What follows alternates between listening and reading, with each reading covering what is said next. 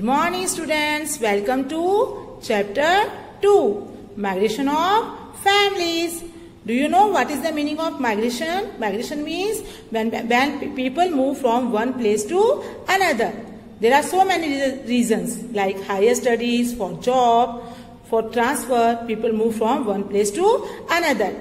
Yes, you see in the book Nikita's. Nikita was living in Ahmedabad. Her father got transferred to New Delhi.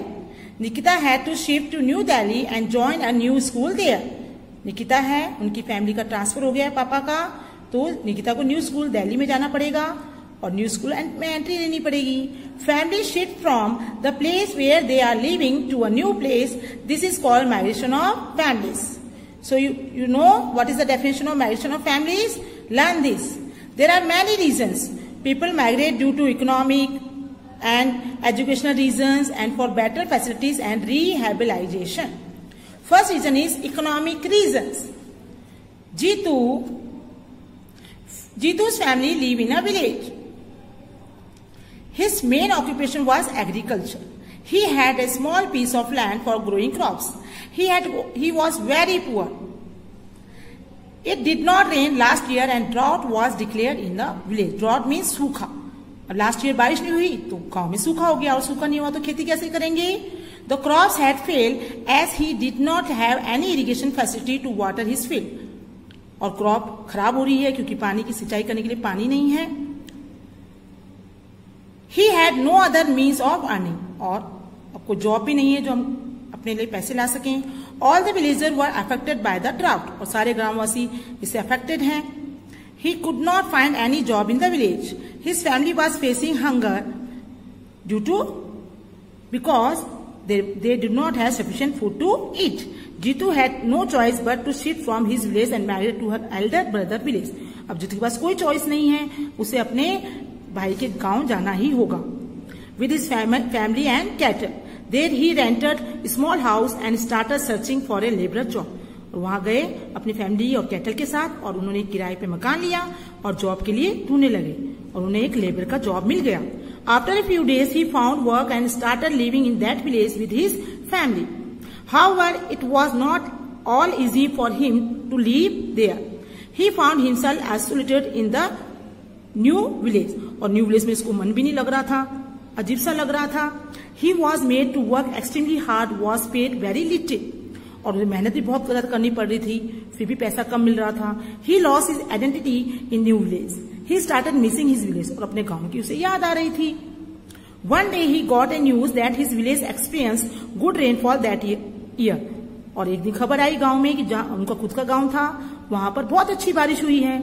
Therefore he return to his own village along with his family and cattle this topic is over the next topic is education Dhiren is working as a laborer in Santu's field in a village. Dhiren एक labourer है संतु के खेत के अंदर। He is getting less money और उसे money भी बहुत कम मिलती है। He has a son Mehul and daughter name Pooja Mehul is studying in the class twelfth and Pooja in class tenth his village like most villages in rural areas lacks higher educational facilities there are no college in the village और गाँव में कोई college नहीं है और Mehul twelfth class में पढ़ता है। With all his hard work Mehul pass the senior secondary examination with ninety five percent marks very good marks scoring Mehul gets a scholarship from the Rajasthan University in Udaipur तो उन्हें scholarship भी मिली है Rajasthan university in Udaipur से। Dhiren deciders decides to send Mehul to Udaipur for higher education तो धीरे ने decide किया कि मेहुल को हायर एजुकेशन के लिए Udaipur he went Mehul to study hard and became a successful man one day. But he thinks that if his son goes to the city away from his family for higher education, then the expenditure means expenditure means I money of his family would increase. He would not be able to afford the expenses और अगर दूसरी city में जाएँगे तो खर्चा पड़ जाएगा और इतनी पैसे की कमाई भी नहीं है। Ultimately he decided migrate to Udaipur और फिर उसने सोचा कि हम सभी उदयपुर चलते हैं।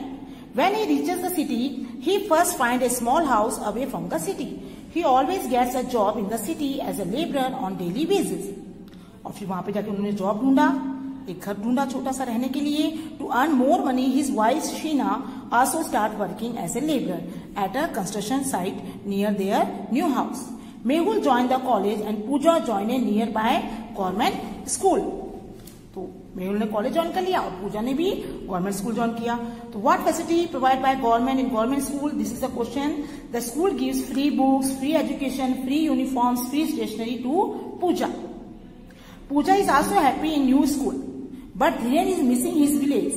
So he decided that once Mehul and Pooja complete their education in Udaipur, he and his family will go back to their village to spend the rest of the their lives there. जब उनके बच्चे पढ़ लेंगे तो वापस अपने गाँव चले जाएँगे then next next is better facility Hariya new story is there Hariya and his family live in a village near Kota he had two sons he had some some agricultural land but the village did not have proper roads big hospitals and colleges Hariya elder brother worked in the city looking at the condition of the village and the poor facility available there he took Hariya's son to Kota city जो हरिया के बड़े भैया हैं वो दोनों बच्चों को कोटा सिटी में ले गए he assured Hariya that he Would take good care of both his son by providing them with the best education facility in Kota. Hariya's sons study very hard. They completed their higher education and ultimately got good jobs in the city. और दोनों बच्चों ने बहुत अच्छी पढ़ाई की और उन्हें जॉब भी मिल गया They were paid handsome salaries They bought a big new house with excellent facilities. They called their parents to settle forever in Kota. City life is, has excellent facility in regards to transport, communication, trade and healthcare. But the parents miss their parental village. लेकिन parents को अपने गांव की याद आ रही थी. Now they visit their village on special occasion like marriages and festival. The last topic is rehabilitation. There was a town named Galiakot in Dungarpur district. Galiakot put in Dungarpur district. Due to the construction of the Karna Dam on River Mahi in Gujarat, this area become low-lying area. और वहाँ पे dam बनाया जा रहा है Karna Dam, तो वो area low laying area हो गया है Karna Dam was constructed to provide hydroelectricity. Question come, come uh, here is coming. Why dams are constructed? To produce hydroelectricity, control floods, store river water for irrigation purposes, and provide water during summers and drought. This is a very important question. These are the reason. As the construction of dam processes, मतलब start होना, water start accumulating. Accumulating means gather, इकट्ठा हो गया. Therefore, the government asks the people to leave their town immediately.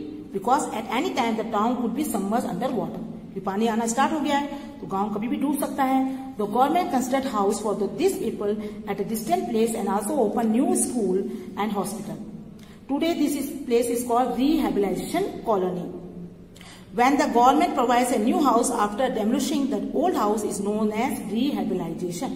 Sometimes the government destroy house and building built on unauthorized land. This is called demolition. The people living in the such place have to move to a new place.